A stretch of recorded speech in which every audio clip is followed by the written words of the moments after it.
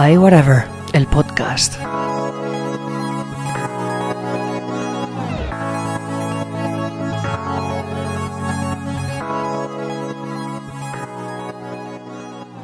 Pues muy bienvenidos a este nuevo episodio del podcast, en concreto es el episodio número 57 y hoy es viernes 19 de agosto del 2022. Hoy vamos a hablaros sobre el lanzamiento de iOS y iPadOS 15.6.1, vamos a hablar también de la versión WatchOS 8.7.1, de macOS Monterrey 12.5.1 y vamos a hablar también de la fecha mmm, posiblemente definitiva del evento de Apple del mes de septiembre. Bueno, y lo primero de todo vamos a empezar hablando de iOS y iPadOS 15.6.1 y bueno, lo primero que hay que decir es que son actualizaciones menores, no esperéis grandes cosas porque solamente vienen a parchear cositas que han encontrado aquí y allá. Se liberan estas actualizaciones eh, justo un mes después de, del lanzamiento de iOS y iPadOS 15.6 y como os digo, estas actualizaciones están eh, encaminadas, están orientadas única y exclusivamente a las correcciones de errores eh, residuales y mejoras de la seguridad, que en este caso es, es algo bastante importante y pasamos a comentarlo a continuación. Estas actualizaciones solucionan dos vulnerabilidades de seguridad del núcleo, del kernel y de WebKit, que sabéis que es un componente muy importante de, Safari, del navegador. Y es que, bueno, eh, Apple ha manifestado que estas dos vulnerabilidades eh, pueden haberse explotado activamente durante un tiempo indeterminado y es muy importante el parchearlas de inmediato con estas dos actualizaciones, por eso han salido tan con tanta celeridad y no van a incluir ningún tipo de novedad de características, etcétera, etcétera. Y bueno, es eso, a estas alturas, cuando esperamos ya el lanzamiento en cuestión de un mes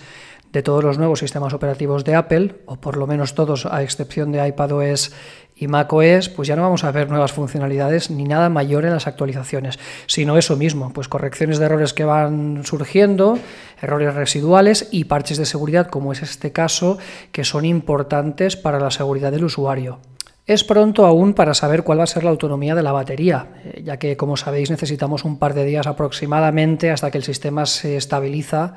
tras la actualización, ¿no? y, y, bueno, pues este sistema nos dé los números reales. Pero lo más probable es que sea muy parecida a la versión iOS, iPadOS 15.6, ya que cambios, cambios, como estáis viendo, pues hay bien pocos. El rendimiento, por lo que yo estoy viendo estos días, es muy parecido al de iOS y iPadOS 15.6, y eso es bueno, buenísimo, porque el rendimiento ya era muy bueno. Y bueno, nuestra recomendación únicamente, solamente por las mejoras de seguridad, pues es que actualicéis lo antes posible porque esto parece una cosa seria que Apple,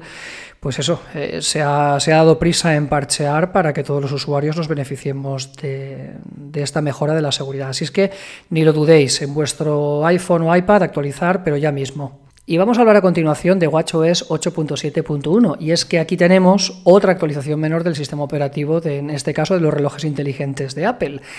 Llega un mes después también del lanzamiento de WatchOS 8.7. Esta versión únicamente está disponible para Apple Watch Series 3, o sea que los usuarios del resto de Apple Watches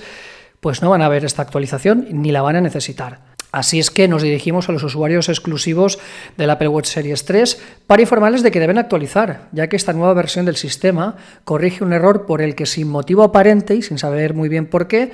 algunos Series 3 se reiniciaban de forma inesperada, según estaban contando y quejándose algunos usuarios. Así es que si tienes en tu poder un Apple Watch Series 3, no tardes en actualizarlo, porque esta nueva versión del sistema viene a paliar este problema que algunos usuarios, como estábamos diciendo, habían detectado con WatchOS 8.7. Así es que no lo dudéis y actualizar también. Pasamos a hablar ahora de macOS Monterrey 12.5.1. Y bueno, otra actualización menor que tenemos aquí, en este caso para macOS.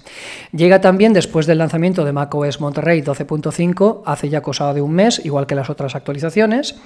Viene para corregir, eh, pues eso, errores menores detectados hasta el momento en macOS 12.5 y viene para mejorar eh, la seguridad del sistema operativo, ya que parchea esas dos vulnerabilidades que estábamos hablando, que estaban presentes en iOS y en iPadOS 15.6, eh, pues aquí también estaban presentes en la versión 12.5 y así es que, pues nada, Apple no ha hecho más que trasladar a esta plataforma la corrección de, seguridad correspondiente. Y bueno, recordaros que estas dos vulnerabilidades son importantes y Apple ha dado cuenta de ellas y, y, bueno, pues desde la plataforma de los Mac también os recomendamos desde aquí que actualicéis sí o sí también. Y bueno, esto es todo, porque si bien el día de actualización, porque es el día que muchos eh, conocemos a este día, en el que Apple libera nuevas versiones de todos sus sistemas operativos, pues en esta ocasión, tanto tvOS 15.6.1 como HomePodOS 15.6.1,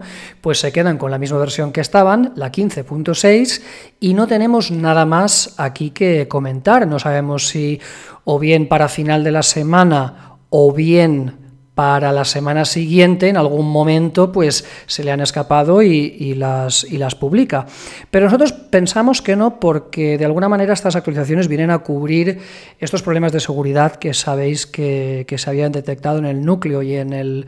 y en el componente WebKit de iOS, iPadOS y macOS. Eh, exclusivamente si hay una actualización de, de, WatchOS es solo por este problema concreto que tenían los, Apple Watch Series 3. Así es que ni HomePodOS ni en este caso tvOS se van a ver beneficiados de ninguna nueva actualización, por lo menos de momento. Y bueno, ahora viene el plato fuerte del episodio y es que por fin parece ser que sabemos la fecha definitiva del evento de Apple de septiembre. Y no va a ser el martes 6 eh, de septiembre, sino que va a ser el día siguiente, el 7, miércoles. Una fecha un tanto inusual para, para Apple. Y es que, bueno, este ultimísimo rumor que nos llega, gentileza de Mark Gurman, que es un periodista de la cadena norteamericana Bloomberg, afirma que eso, que el evento eh, va a tener lugar el miércoles día 7 de septiembre y se va a dibujar de la siguiente manera. Eh, normalmente las invitaciones oficiales eh, Apple suele entregarlas una semana antes del, evento, en el mes de agosto. Pero este caballero mm, afirma que, bueno, que tiene casi casi seguro que, que, el día 7 va a ser el evento. Y bueno, como ya sabéis, en este evento se van a presentar toda la línea de productos del iPhone 14, iPhone 14, iPhone 14 Max, iPhone 14 Pro, iPhone 14 Pro Max toda la línea de los Apple Watch Series 8, también muy probablemente los Apple Watch SE de segunda generación, ya sabéis que es este Apple Watch un poquito más asequible para, para el bolsillo del consumidor, y también el esperadísimo Apple Watch 8 o no 8 Pro. Y de ser esto así, entendemos muy bien por qué Apple se toma la molestia de parchear el sistema operativo de WatchOS para los usuarios del Apple Watch Series 3, porque muy probablemente con el lanzamiento de todos estos nuevos productos, entre ellos el Apple Watch Series 8, el SE de segunda generación y el 8 Pro, este reloj creemos y esperamos, porque ya vemos que no tiene mucha lógica mantenerlo en, en, catálogo, pues eso, que el Apple Watch Series 3 va por fin a descatalogarse y a desaparecer. Esta presentación de productos el día 7 de septiembre deja la puerta más que abierta para que, como dice este caballero, este periodista, Mark Gurman, el viernes día 16 de septiembre, todos estos productos que acabamos de, nombraros, pues estén ya disponibles en, en las manos del usuario. Y esto va a llevar consigo también otra afirmación que a continuación os vamos a contar. Y es que, claro, si el día 16 eh, todos estos dispositivos van a estar disponibles para el público, casi con total probabilidad el lanzamiento de los nuevos sistemas operativos de Apple, a excepción en este caso de iPadOS 16 y macOS Ventura 13, pues también se van a producir este día. Y los dispositivos que se van a vender, pues muy probablemente tengan versiones precargadas de estos sistemas operativos nuevos y que, bueno, quizás a lo mejor solo comprarlo y ponerlo en marcha ya nos pida quizá otra actualización a la, quizá a una versión posterior porque a lo mejor si esos dispositivos están ya eh, disponibles para, para venderse, pues no van a poder actualizarse antes, con lo cual esto casi siempre se produce así y así esperamos que, se vaya a producir. De todas maneras, eh, Apple siempre indica de forma más precisa cuándo van a salir los sistemas operativos eh, nuevos en su mismo evento de septiembre donde presenta los iPhone y los, y los Apple Watch. Así es que, bueno, tranquilos porque cuando tenga lugar el evento, Apple va mm, sin ningún tipo de problema a decirnos cuándo va a presentar la fecha de, estos esperadísimos sistemas operativos. Y eso sí, cabe recordar que ni iPad OS 16, por un tema de problemas con el Stage Manager, que parece que los tiene a todos enredados, y también por el mismo motivo y una serie de problemas en el, entorno gráfico y la, y la, interfaz gráfica del sistema operativo, también en macOS, pues, eh, pues el lanzamiento de estos dos sistemas operativos se va a ver